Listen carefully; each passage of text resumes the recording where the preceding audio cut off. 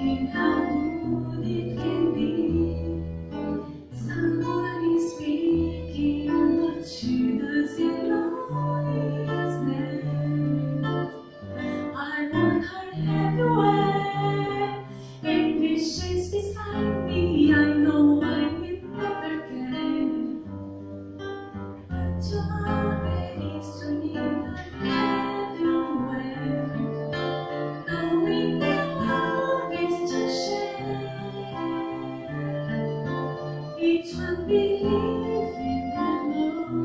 loving and dying, watching her eyes and holding and always there to